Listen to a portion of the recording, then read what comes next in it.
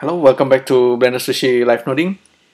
In this episode, I will take a look at the Blender um, simulations. Um, I haven't really touched much of the Blender physics. Uh, I I only like uh, touching like uh, the basic one, but I'm I've started to get uh, to have interest in uh, things like soft body and cloth and uh, kind of uh, we'll try to use animation nodes or Sverchok to to use it in the in order to set up the cloth, for example, or the soft body.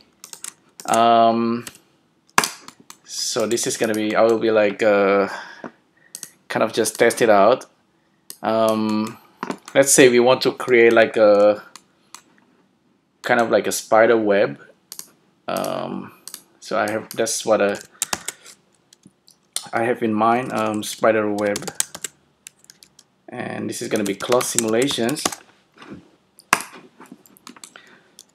Um, the basic of cloth uh, what I know is uh, if you have like a grid and grid is made up of 9 by 9 vertices. So if I display all the vertices looks like this. And if we apply these uh, cloth simulations, um, it's supposed to fall right away because it's become like a cloth. Um, what I'm interested in um, today is actually the pinning, the pinning options.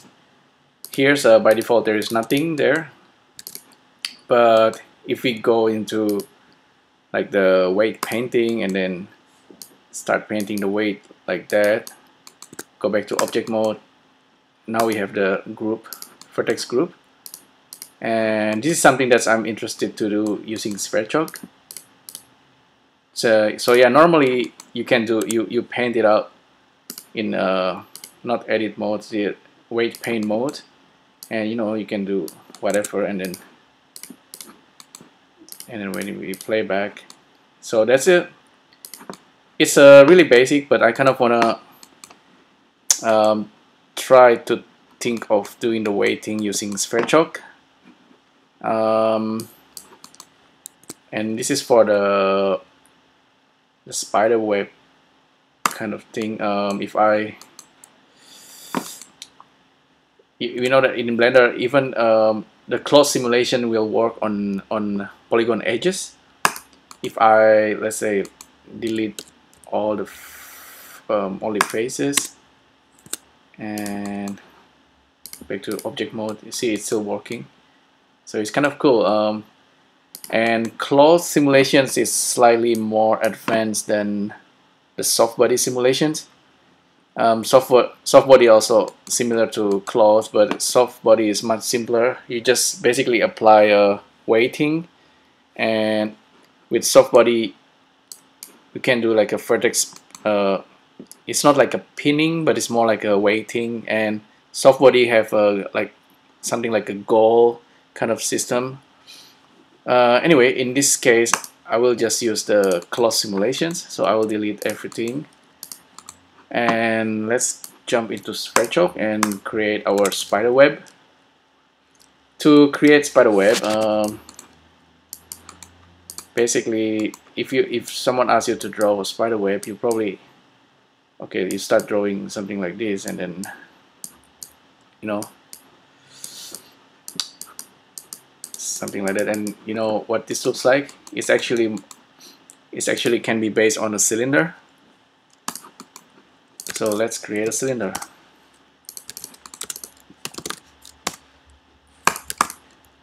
By default cylinder will create cylinder. So nothing so special about that except that this is a super procedural and nice. We can change this at any time, more subdivision or less subdivisions. But if I um, turn this into edges, edges only, now we started to see, okay, we can see the wireframe. If I make the radius top larger and radius bottom smaller, and then make the height zero, I have something that looks like a spider web except that maybe we don't need the outer edges. We kind of wanna wanna delete the those edges. So how do we do that? Uh, Sverchok actually give you access to that quite uh, quite easily. It's a it's kind of um, sometimes it feels kind of magical. So the thing is it's, it's like this. Um, if we use a viewer index and I take a look at the number. So I want to teach you like uh, to start looking at the like the number here. Um I just I need to plug in the vertices as well. I think we are looking at the edges. Let me check real quick. Ah there you go. There you go. Um, we don't need the vertices. Oh actually we need we need the vertices and then we can see the edges that we don't want. Um, uh, is the edges between 56 and 69 so that's the that's the index number of the edges as a list. Because really here we have the vertices and we have the edges and they are just bunch of uh, lists of indices. So with edges if we check the data it says okay connect vertices 0 and 1 and then connect the next one connects vertices 1 and 2 and then you get create more edges. And let's check how many edges it has list length. Let's check it out. Um, another stethoscope we have 126 edges at the moment for this setup. So for this one we we kind of want to delete or um, maybe we can mask it or we can slice the index. List slice. I think we'll do it. We'll do the job. Let's uh, have a look. If I plug in the edges in there and then and then plug in the slice in there. Now let me hide this view index. And I'm starting to check okay. Currently I think the level is wrong. I need to use level level 1 and then I'll increase the number. And you can see it's starting to kind of create recreate our web um, edges by edges in the list until it's a uh, until it creates the whole web again. Now with the list slice imagine if you have like a bunch of uh, edge indices like this and so on until the last indices. We kind of uh, with list slice we can kind of okay grab some range and then delete that part or grab some range and then delete the rest. So you can do that kind of thing quite easily. Um, it's pretty basic but I still find this handy. Um, so I wanna delete the indices number. Let's check it again okay. The list indices that I want to delete should be between 59 and actually 56 56 and 69 so 56 and 69 oh, okay um, kind of almost correct. Ah, okay I'm missing one so it should be between 56 and 70 because 70 is not counted for it. So I managed to get the indices um, of the edge that's outside. I can reverse it just use the other which means now I just get the inside of the edge which is uh, what we want. Yeah so there you go. Um, if you want to make it to make this always work yes there must be like some kind of pattern or mathematical pattern that's uh, so that's whenever we are changing the vertices or changing the subdivisions, we, we, we always get the most outer of the web. Uh, but for now, we just leave it like this. Um, actually, I will also check the index um, of this guy.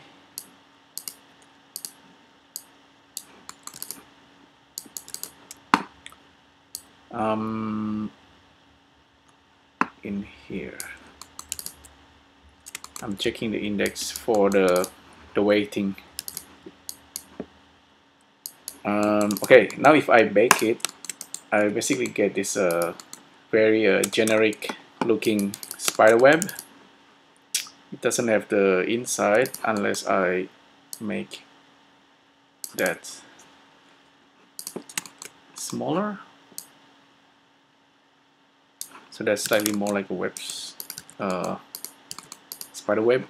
Bake it again. So I get something like this. Okay, um, now I want to turn this into a cloth. Turn on cloth and then if I play back it will fall because of the gravity. But I kind of want to do the pinning using Sverchok. Um, if you want to do the weighting, weight pen, um, the weight pen paint, I don't think it works on uh, something like this. Um, I can give it a try, but I don't think it's uh, really working. Now let's go back and then have a look. Turn on pinning. See it doesn't doesn't work. It only works if we have a polygon face. And in order to do this uh, manually I can uh, we can kind of select this point and then go to the the weighting and then um, turn on vertex group and then assign it to currently selected. And then go back to object mode and then go back to cloth spinning and then so we have it. That's how we do it. If we if we we cannot really paint it unless we have a polygon face but I, I want to do this um, using Sverchok so let's have a look how we can do that I will delete this uh, group so we have uh, we don't have the vertex groups again uh, I, I want to do it using Sverchok. So in Sverchok we have vertex group. This is probably still like a beta beta kind of nodes, but it's still still usable. And this node might kind of uh, grow or, or become more sophisticated over time, depending on the need of the the user, of course.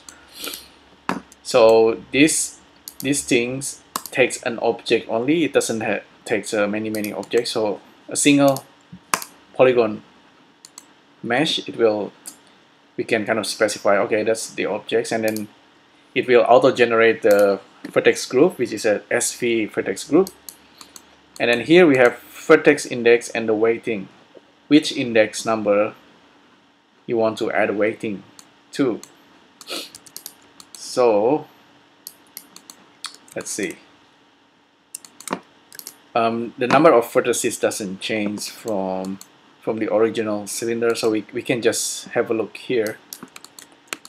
The number should be between 56 and 69 56 and 69 so it's the same as this guy.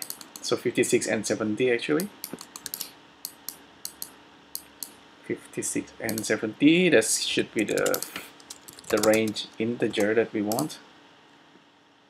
So start at 56, stop at 70, plug this into the vertex index indices and then the weighting should be 1 for all of these vertices. And now, lo and behold, playback. Oh, still not working. Why? Because I forgot. Have to specify it here in the pinning. Now, if everything works, we have the web spider web, uh, spider web working. Yeah, that's uh, it's actually that simple. Um, the cool thing about the Blender cloth simulation is that it's actually kind of updating um, while caching. by default the cloth cache only works from 1 to 250 so make it 500 now if I play back and then if I kind of turning off the weighting one by one you see we get that effects kind of like a it's being unpinned until the last pin and then it, it just fell down. So that's really cool. That's uh that's gonna work for us. We can also kind of pinning it back. And it's live.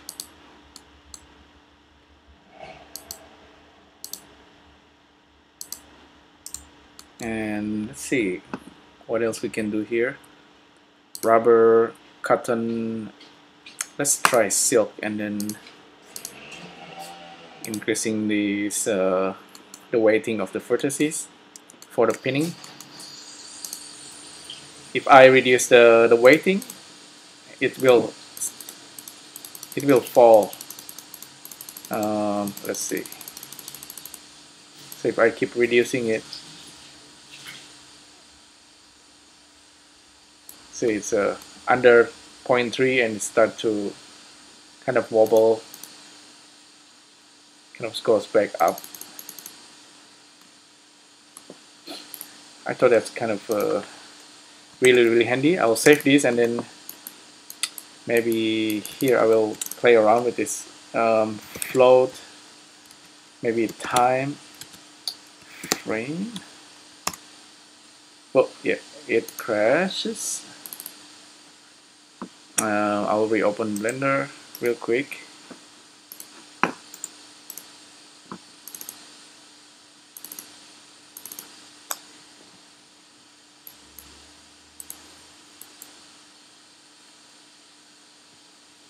what I found is uh, with the cloth simulation, since it works for edges, you can you can use cloth simulation for things like grass. I think. So yeah, we are up to here. Um, maybe I shouldn't play around with the number, but we can use the. So this one generate the web. This one do the weighting for a cloth uh, we can do one more thing just uh, select this guy object in and then use the poly frame poly uh, polyline viewer this one will generate a curve for it.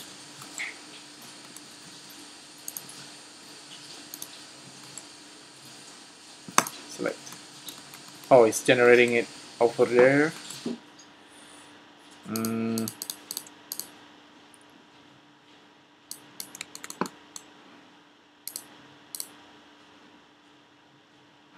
Um, turn on pose modifier so it's gonna get calculated for after the modifier.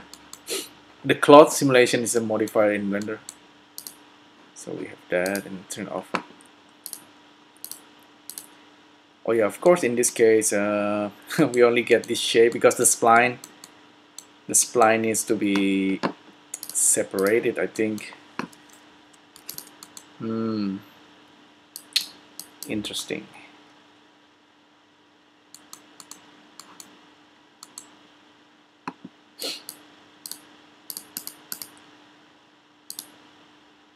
Interesting. So polyline viewer might not be the best. If we use a skin skin mesher maybe a little bit more advanced for the seeds and edges make a live modifier. Radius of 0.05 we have something that looks like a web. That's a bit better. Skin I found that skin modifier is uh, the late in latest version this thing is really really fast. It's pretty amazing. Um, make it smooth shading on turn on matcap and now we have spider web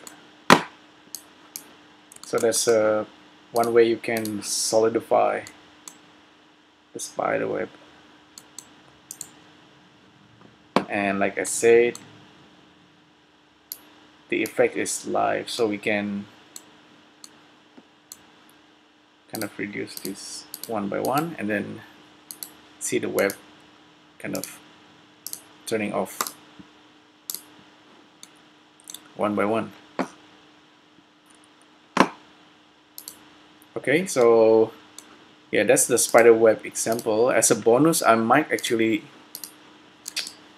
I might do another similar example but using just a line just to be very very clear. So I will delete everything start from fresh. I'll create I'll create a line here and then uh, a viewer draw. And let's make like uh, 50 50 lines and just the edges. So that's 50 lines.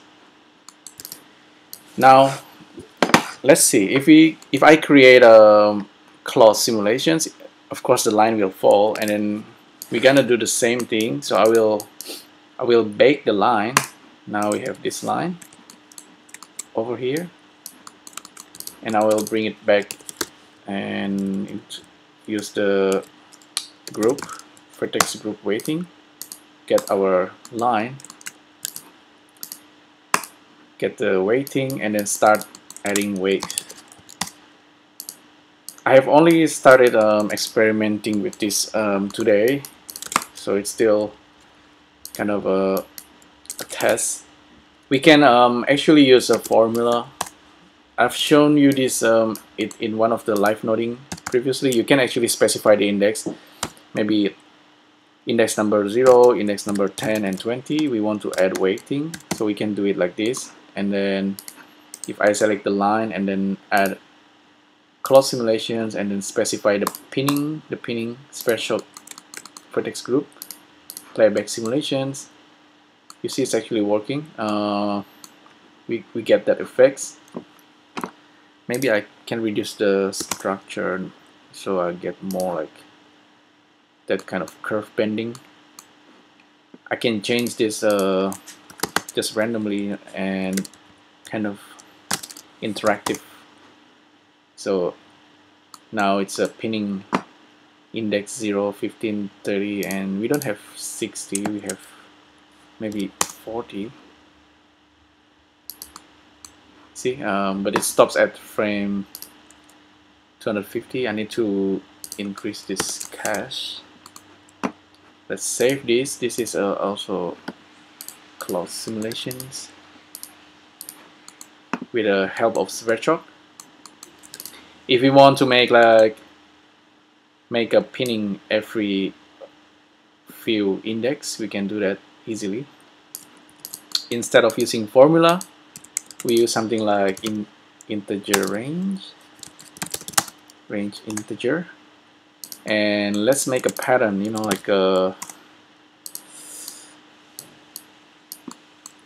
you see this is the default. Start stop 0 to 10 so 0 1 2 3 4 5 6 7 8 9 if we turn on the stepping we can have something that's uh, kind of skipping. Uh, we can do it like this or we can use count. So range or count. We can use count. Start at zero do it 10 times. So it's gonna generate something like this. And we can use this as the vertex index. So now if we check we get something like that. So maybe every every 10 do it for four times and then re refresh reset our simulation. So we have one two um, one two three four four pin five six. So six pin for our line.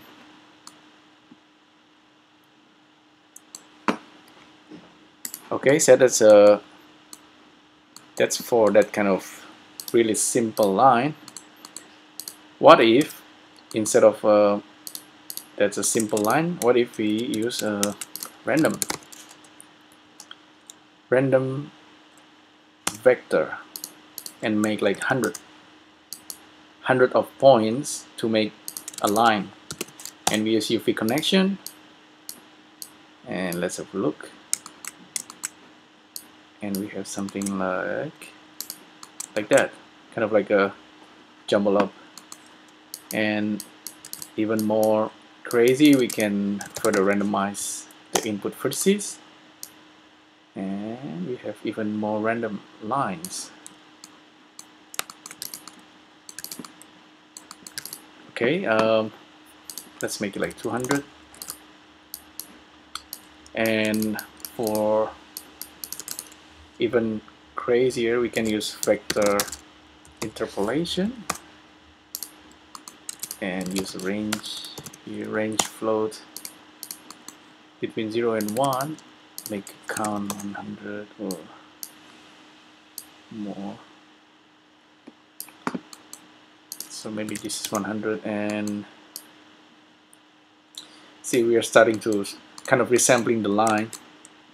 And this is good for our simulations.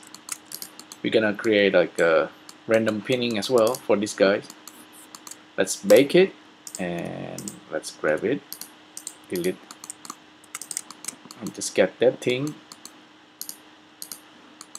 And then do the weighting once again. But make sure we have cloth simulation on. Specify the vertex weight and start simulating. And we have this thing calculating. Maybe the cache maybe we should turn this off so it doesn't do the calculation. Actually just delete this guy. And just focus on this guy. Let's make like 20 of these. And calculate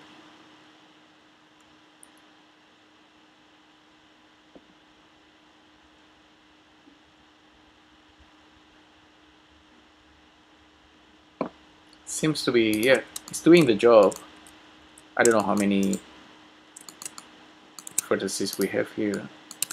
Maybe not enough. Make a 40 pin and then stepping every 12 playback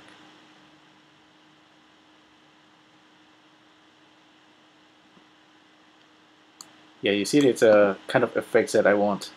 Kind of like a thread being pinned and it's a this can look really really natural if we uh, if we further tweak it. How many of points do we have here? Maybe not. We don't have enough pinning. 647 okay 647 maybe we can have pin every 8 and then 648 100 or 80 and turn off stethoscope. Switch to 3D view full. Turn on actually back to compositing because this is a single line we can use the polyline viewer. So grab objects in. Get selection plug this in. We have our curve. Maybe sometimes in CG if you have small number it looks more detailed and it's kind of nicer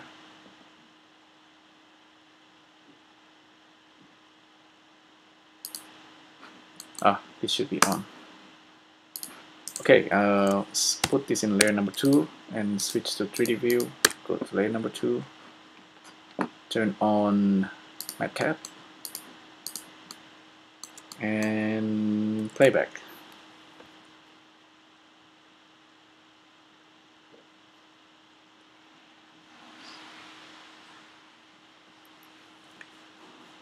Maybe this is can can be can be used for like a horror like a horror environment decorations. Maybe the pinning um, what would be nice maybe to improve this maybe if we, each of the lines is actually separate and sometimes you do kind of cut cut the lines and you're gonna have like more detail it's gonna look more natural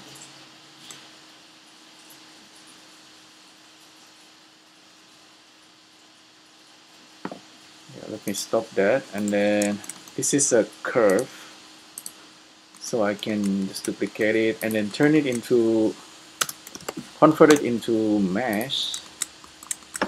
And if we apply like displacement and something like maybe like a cloud maybe maybe we have something that's more kind of creepy looking it's more random.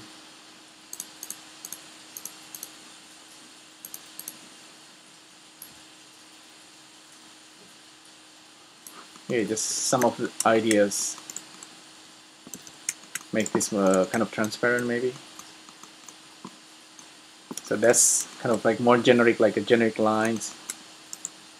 What's cool about this is if we go to back to compositing you can turn it into B-spline so you have like a smooth smooth curve. Um, select it so back to this guy. Uh, that might look alright. If we use something like wireframe.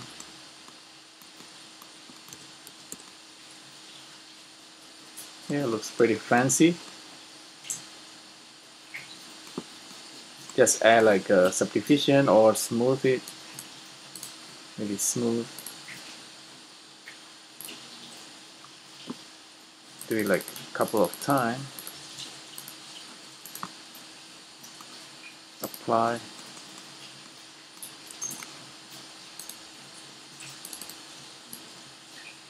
Make it very thin. So we have that kind of a abstract looking kind of structure yeah so so yeah that's um, just uh, like a quick explorations of Blender cloth simulations using Sverchok. Um, I'm focusing basically on the just the vertex weighting using a kind of procedural kind of way. It's all numerical. Um, I do kind of wish that uh, maybe at some point we can we can use like a like a texture to do this, like a any kind of texture. We just apply it and then transfer all the the weighting of the texture into the objects itself so that way really um, painting it being able to paint it it's a uh, kind of nicer than doing the numbering like uh, like this some um, it, it really depends sometimes you you want to do it numeric numerically so you, you can see the pattern and then okay you can you can kind of uh, use a math formula to get everything to kind of work correctly. If there is a pattern, if there is no pattern, if everything is more random, you rather use a kind of like a texture. And for that, you maybe need to use UV. Um, it's not, I don't know, it's a question mark. But like I said, if you want to make this um, kind of this kind of shape, you know, like a random, it would be nice if you just have a lot of edges and then resample all the edges and then turn it into kind of a spider webby kind of structure yeah so that's pretty much what I want to show you in this live noding um, thanks again for tuning in and if you have any question you can leave in the comments. Um, I'll see you in the next video. Thank you very much